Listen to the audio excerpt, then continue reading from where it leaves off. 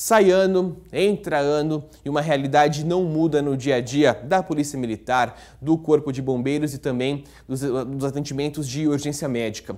Os trotes feitos nos números de emergência continuam atrapalhando o trabalho das equipes.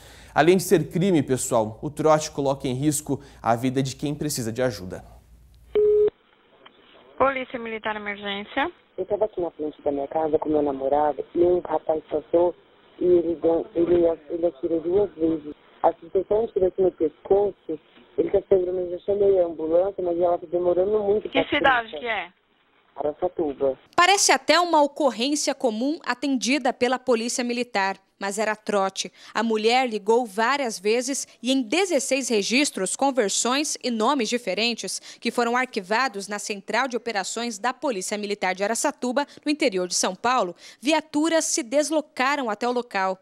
Ela foi identificada e responde judicialmente pelos trotes. Um balanço feito pela PM mostra que em 2016 foram mais de 40 mil ligações de ocorrências falsas registradas no Copom de Aracatuba, que que atende toda a região. São mais de cinco trotes por hora. E no período de férias escolares, a incidência aumenta por causa das crianças que ficam mais tempo em casa. Nessa época de férias, os pais poderiam, né, deveriam auxiliar a polícia militar a fiscalizar as crianças, não deixar utilizar o telefone, ligar 190 para fazer piada ou brincar, ligar e desligar. Os trotes não fazem apenas policiais se deslocarem até locais onde não existem ocorrências, mas atrapalha principalmente o primeiro atendimento que é feito aqui mesmo pelo telefone. Casos de bebês engasgados são os mais comuns atendidos pelo Copom e segundos podem fazer toda a diferença. Como nesta ligação, do outro lado da linha está uma mãe desesperada. Coloca ela, ela de bruxa em cima da mão da senhora. Dá uns tapinhas nas costas dela, no meio das costas dela. Devagar. Começou a chorar? Ainda não. Não chora não, senhora. Dá uns tapinhas nas costas dela devagar aí. Moço, me ajuda, pelo amor de Deus, moço, me auxilia. Coloca a boca da senhora no nariz dela e na boca dela e chupa devagar. Chorou? Uhum.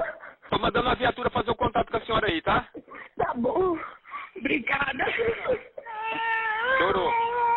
Agora ela tá bem, ela tá bem, tá, senhora? Esta policial já ajudou a salvar quatro bebês na mesma situação. Quando eles ligam, eles ligam já desesperado, né? Então a gente tenta acalmar eles, né? E para poder ir passando os procedimentos e eles tentarem realizar lá na, no local onde eles se encontram, né?